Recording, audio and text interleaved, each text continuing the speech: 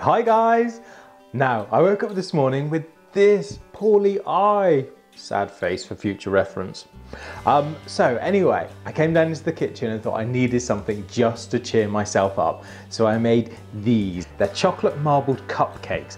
Not only are they really, really joyful to look at, super tasty, but really easy to make as well.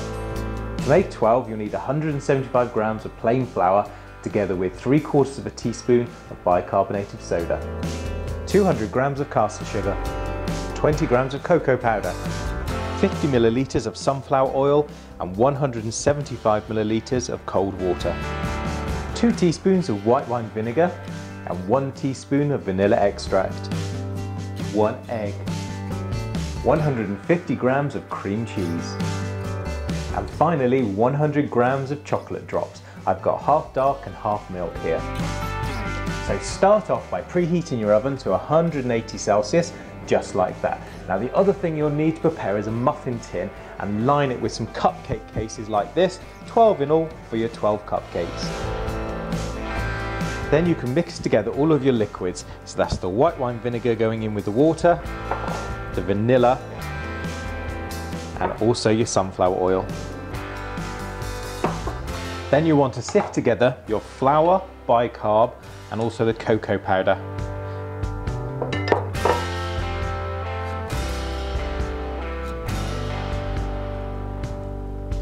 Next, add in 150 grams of the caster sugar. So put the other 50 grams to one side because we need that in a bit. And just mix that together with a balloon whisk. Make sure all of those dry ingredients are well combined and all run through together. Then you can abandon your balloon whisk and swap to a trusty wooden spoon before adding in your liquids.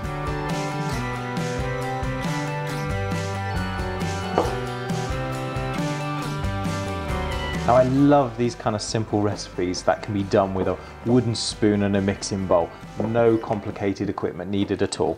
So just keep mixing this until it's all combined. That'll probably take you about 60 seconds. And with that combined, you can pop that to one side and grab yourself a new bowl and pop your egg in together with ooh, cream cheese, get that in. The other 50 grams of sugar as well can go in. And then just mix that until it's all combined. And when it's nice and smooth, just chuck in your chocolate drops and mix it through. So that is our two mixtures all ready to go into our cupcake cases. Starting with your chocolate mixture, which I've just put into this batter jug so I can pour it, just split that between your 12 cupcake cases. And when you're happy those are even, it's time to put in your cream cheese mixture. So just spoon a little bit on top of each of them together with some of those chocolate drops.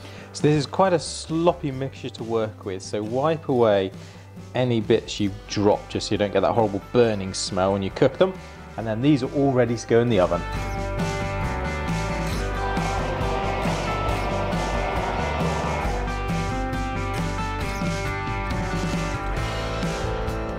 And after 18 to 20 minutes in the oven, they'll be perfectly cooked and good to come out.